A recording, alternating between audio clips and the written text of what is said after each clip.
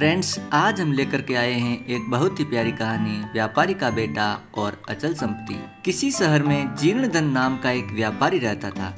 उसके व्यापार में बहुत समय से घाटा हो रहा था। इसीलिए वह सोचने लगा कि कहीं और जाकर धन कमाया जाए।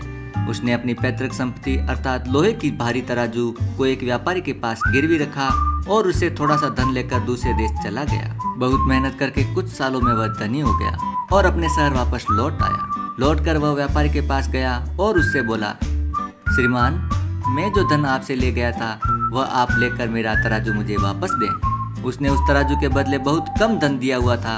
उसने सोचा कि जीर्ण धन अब कभी लौट कर नहीं आएगा और यह तराजू उसका हो जाएगा। इसलिए वह बोला, भाई, तुम्हारे तराजू को तो चूहों ने खा लिया। जीर्ण धन आश्चर्य से बोला, यदि चूहों ने उसे खा लिया है तो इसमें आपका क्या दोष? अच्छा अब मैं थक गया हूँ, इसलिए नहाने के लिए नदी पर जा रहा हूँ। क्या आप अपने बेटे को मेरे साथ भेज सकते हैं? उसके साथ मेरा समय भी अच्छा कट जाएगा। जीर्ण धन को खुश करने के लिए व्यापारी ने अपने बेटे को उसके साथ भेज दिया। नदी में नहाने के बाद जीर्ण धन ने व्यापारी के बेटे को एक गुफा में छोड़ा। गुफा को एक बड़े पत्थर से ढक दिया और चुपचाप अपने घर चला गया। व्यापारी अपने बेटे और जीर्ण धन का इंतज़ार कर रहा था।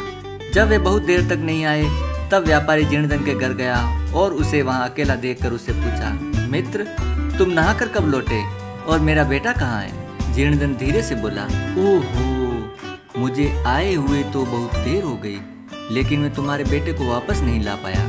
व्यापारी ने पूछा, क्यों? जीर्णधन बोला, जब मैं नदी में नहाने गया, तब मैं तुम्हारे बेटे को नदी किनारे छोड़ दिया था।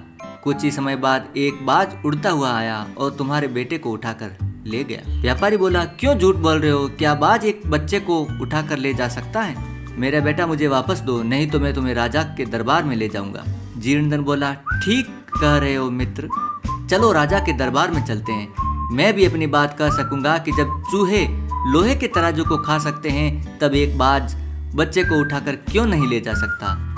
इस बात को सुनकर व्यापारी भौचक्का होकर जीर्णधन के सामने गिड़गिड़ाता हुआ बोला, मित्र, मुझे माफ़ कर दो। मैंने तुमसे झूठ बोला। मैं तुम्हें तुम्हारी संपत्ति वापस कर दूँगा। कृपया मेरा बेटा मुझे वापस कर दो। जीर्णधन ने व्यापारी को उसका बेटा वापस दे दिया और व्यापारी ने उसकी सारी संपत्ति लौटा दी। दोस्तों, इस कहानी से हमें ये शिक्षा मिलती है, जीवन में कभी कभी जैसे को तैसा करना पड़ता है। और इसी के साथ ये कहानी यही समाप्त होती है। आपको ये कहानी कैसी लगी, कमेंट करके ज़रूर बताइएगा। चैनल पर पहली बार हो तो चैनल को ज़रूर सब्सक्राइब करें। मिलते हैं अगले वीडियो में।